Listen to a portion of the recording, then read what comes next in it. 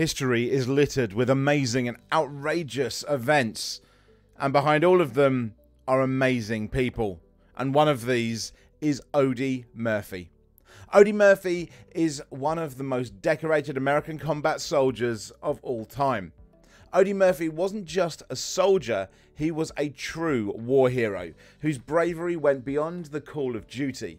Born into a poor Texas family, Murphy enlisted in the army as a teenager and quickly distinguished himself as a fearless and skilled soldier during the war.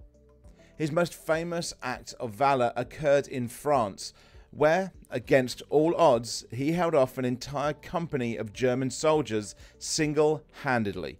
Despite being outgunned and outnumbered, Murphy climbed atop a burning tank destroyer and, with nothing but a machine gun, turned the tide of an entire battle.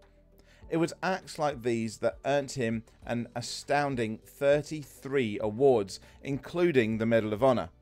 But Murphy's story didn't end with the war. His fame led him to Hollywood, where he starred in over 40 films, including the autobiographical To Hell and Back.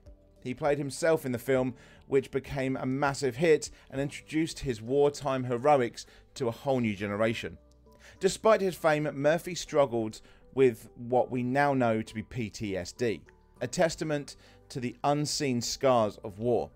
He was open about his struggles, advocating for the cause of mental health for veterans at a time when such topics were rarely discussed.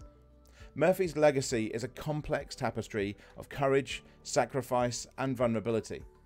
He is remembered not only for his heroic deeds on the battlefield, but also for his efforts to shed light on the psychological toll of war. As we reflect on the life of Audie Murphy, we are reminded of the extraordinary feats of ordinary people.